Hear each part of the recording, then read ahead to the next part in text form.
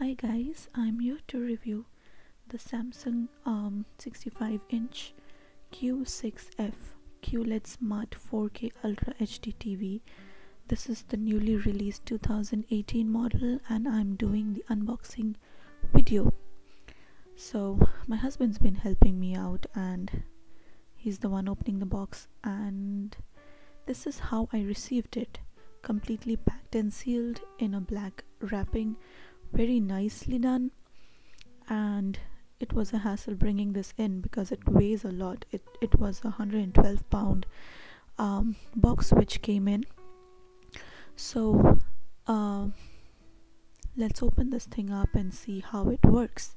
Since I've been really excited to try this one out um, it's got great reviews already. So let's try and see um, how this thing works now the box has um, everything written down on it. As you can see on the side panel it shows that actually the front side is the other side and I had the box all way wrong and you need two people to assemble this. Basically um, two people to take it out and the rest of the stuff. And on the top you have um, basically a small guide like a quick guide on how you would unbox the um, TV, how you would take it out of the box, and the way you need to assemble it. So I have turned um, the TV now to the front, and you can see um, the front side of the box. I really like the packaging, the the look, the picture, everything is so very nice and here you can see what all the features of this TV are. Uh, it says clean cable solution. So basically that's you can um, insert the wires from the leg of TV it has got ambient mode uh, one remote 4k uh, UHD resolution and four HDMI ports. Um, ambient mode I will talk about it later on. It's really amazing. It's it's a feature which surprises me I mean how it's done so uh, let's um, see on top um, what all is mentioned. It's got q color q contrast q hdr motion rate 240 uh, smart tv with bixby voice. Um, i've got bixby voice in my uh, samsung s8 phone as well. And um, this is a 65 inch tv it's a smart tv so it's got all the apps inbuilt in it. And it's it's um, got a very high resolution certified UHD and 4K Ultra HD so basically it's it's the top of the line and I cannot wait to get it out of the box and start watching my TV on it. So as you can see um, I'm expecting. So I could not be of much help taking the thing out but I did as much as I could. So basically the box is really well made. You just need to pull out the box this way and the TV is still in there. So there's no heavy lifting as such required there. And um, it's it's very nicely packed uh, with thermocol. Now this is the back side of the TV it's got a USB cable um, two USB the first one is just for power. You can give power to your devices via that USB the second one uh, mentions HDD so basically it's for hard disk drive which you can connect on this.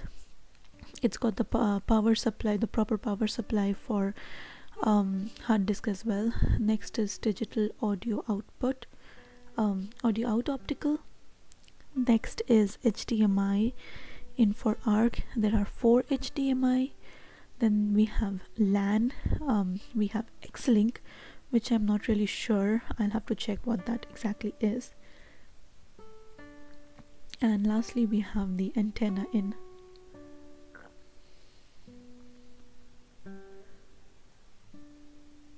Now uh, we've got slots here for wall mounting. The TV um, the slots are there on both the sides of the TV and then here we have the power um, power supply area. We insert the power socket there. Now here on the bottom is where you will put the leg of the TV and um, it's clearly mentioned uh, it's written L. That means that's the left leg. And it's very easy to set this up you just need to push it in and it slides right away inside. And as you can see here um, the leg comes out that way and you can insert the wires through it. So the wires would be concealed and it will not mess up your TV's look when it's on the table or it's wall mounted. It's it will all be inserted inside. So you can set up your um, devices in such a way that the left devices would go in the left um, the wires would go in the left leg and for the right devices the wires would go in there. So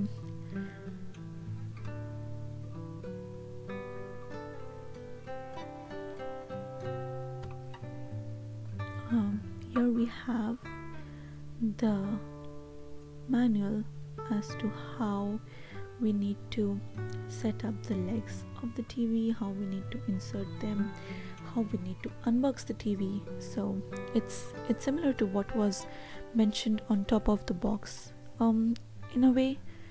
And uh, here we have a paper for reference as well. And this is the right leg of the TV, and I'm just showing you how you need to insert it. Just press it, and it goes right inside so it's easily fixed there is no hard work here so finally I have put up the TV on the stand and I just want to show you one more thing. The TV has two um, stickers on the side panels. So basically this um, uh, the stickers on both the side it's just so that you can easily hold the TV and not damage the screen while taking it out of the box. So that makes it really nice and easy for you to unbox the TV and the thing just peels off. Um, I'll just show you on one side how um, easily the sticker will come off.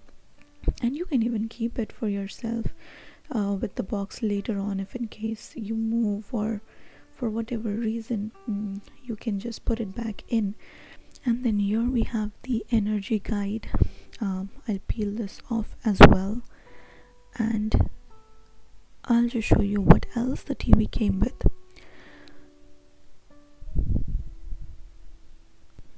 So here we have the accessory kit. I really like the way um this thing came because it's it's like a small pouch and you can open and close it. You can put put the stuff back inside again because the pouch is like resealable it's very easy storage really really well made as you can see. Um, first we have the accessory kit.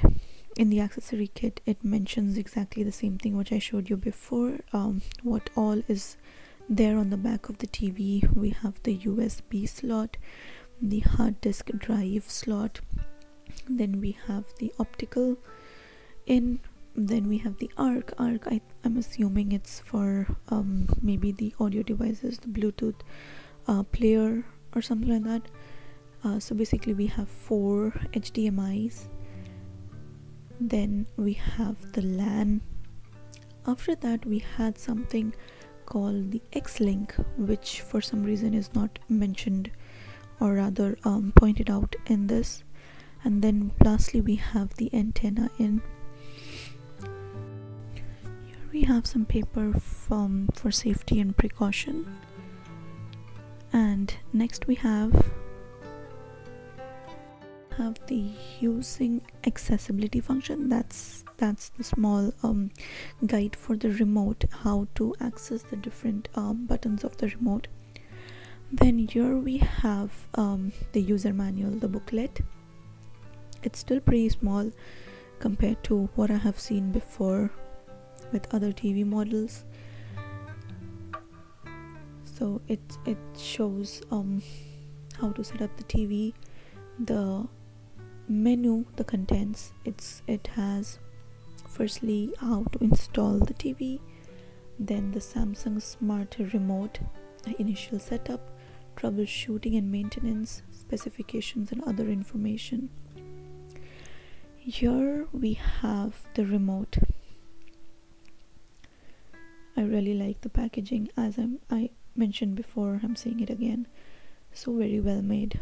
Um, the remote is very very sleek. Very few buttons. Is somewhat similar to my Amazon Fire um, TV remote and very different from my LG TV remote. Um,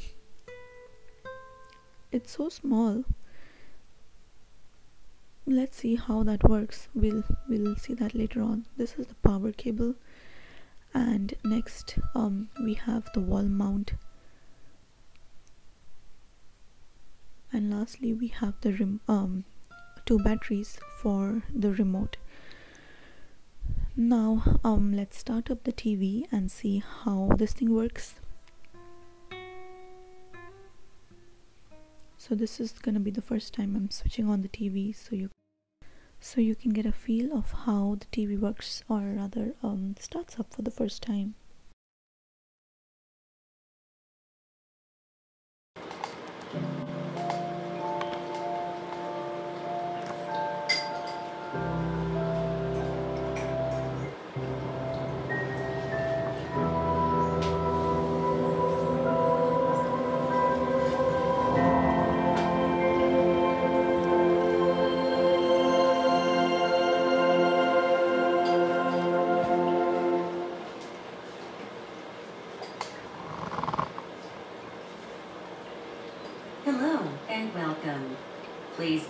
the SmartThings app on your mobile to start TV setup.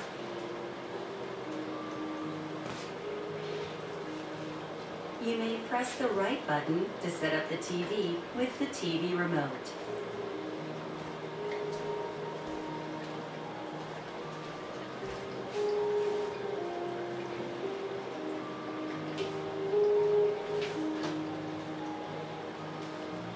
Please select your language. The accessibility function is available when you press and hold the volume button.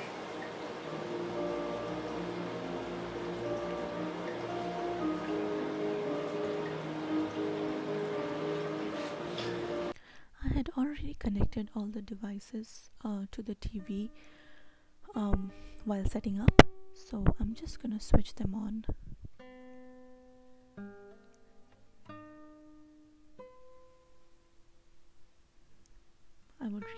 guys also um, do the same so that it's easier um, for the TV to recognize all your devices when you start up for the uh, for the first time. So I have just switched on my Xbox and you can see it's showing connected in the HDMI slot. Now I'm gonna connect my PS4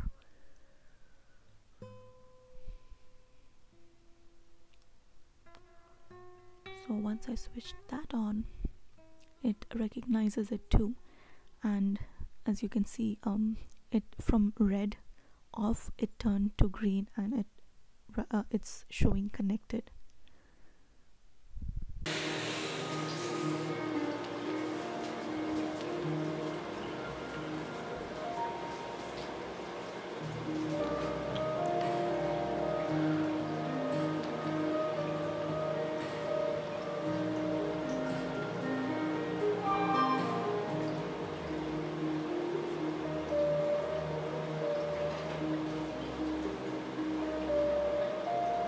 I do have a Samsung account um but I'm not gonna I'm gonna just skip that step for right now. It's already showing that it's detected a phone uh, for TV setup. I'm just gonna skip that right now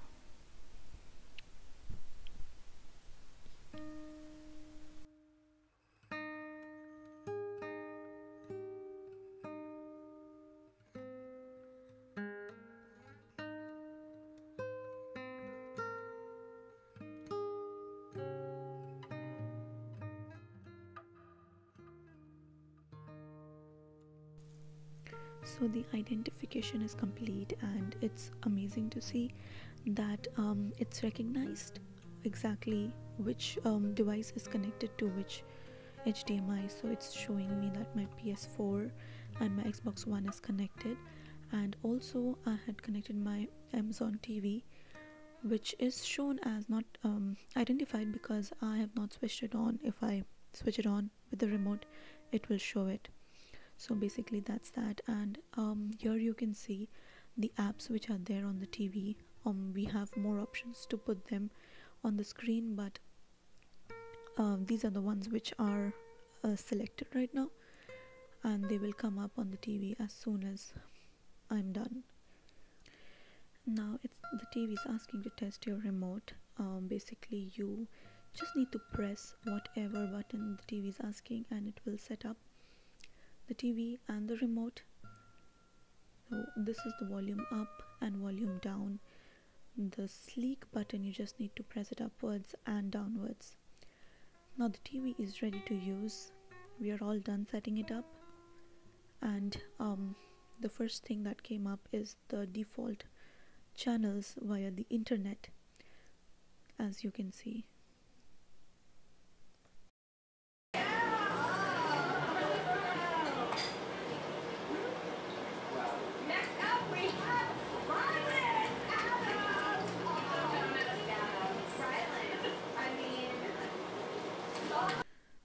so now I'm gonna start um, YouTube and check how that goes.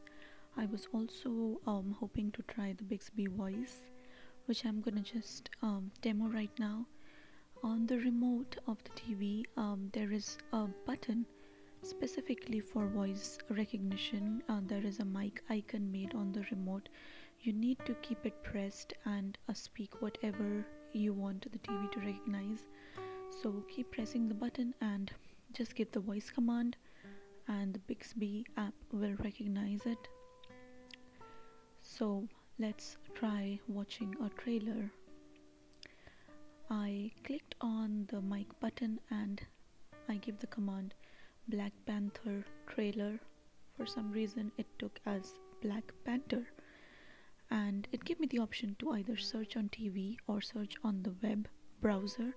I selected the web browser and you can see here that it opened up a browser just like it would on your laptop or on your phone and um, it's giving me the option to play the trailer. So the mouse click is from the remote. The remote has um, recognition there as well. You can just hover um, in front of the screen and it will play now let's explore the TV clarity. I just played a 4K video and it's really amazing how crisp and clear the picture quality of the TV is. Uh, I'm, I'm not uh, sure if it's coming up that clear via my camera but it's very very clear up front it's really nice clarity is awesome I can't say enough of how much I'm liking the video quality on the screen.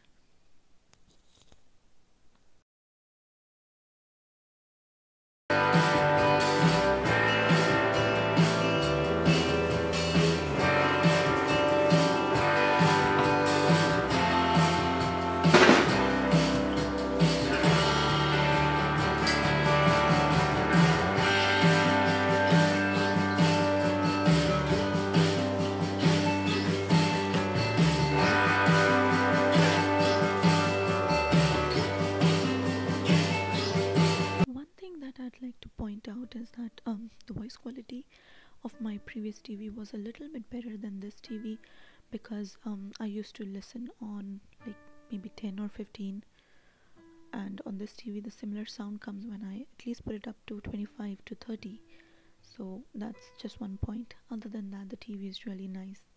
Everything else um, I really liked in this TV as for the ambient mode I will make another video on that just want to talk about it a little bit that it's it's a feature where it makes the background the wall the color and the pattern of the wall and that's what is displayed on the screen of the TV ambient mode feature is really cool when it comes to wall mounted TV and that's about it. The TV is really uh, user friendly it's very easy to maneuver easy to use the apps. It's all right in front of you which I really liked and that's about it. I hope you liked the video.